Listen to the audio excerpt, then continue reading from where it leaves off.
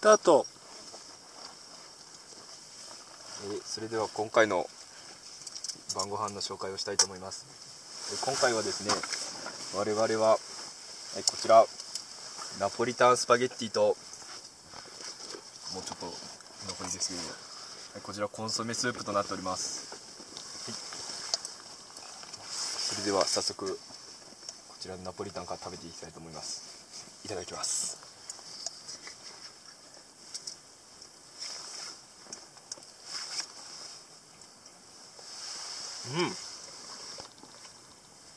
まずこの食感がいいですね。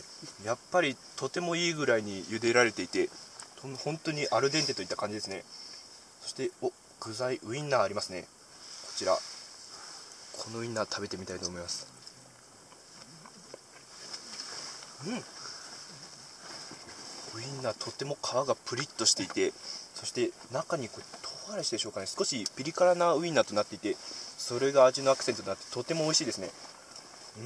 うん美味しい。あエリンギもありますね。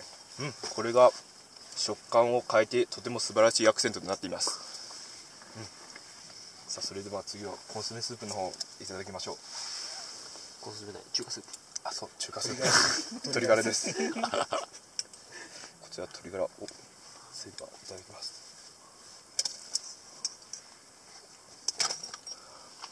はあなんて言うんでしょうね。このまろやかな味わい。うん本当に。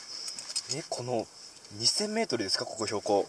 この 2000m でこの美味しさっていうのはまず感じられないですね。本当に。これはとても素晴らしい。いや本当に山小屋でもこれはないですね。うん。うまい。うん。この玉ねぎこの玉ねぎもとても美味しくて食感がいいですね。あとえこちら。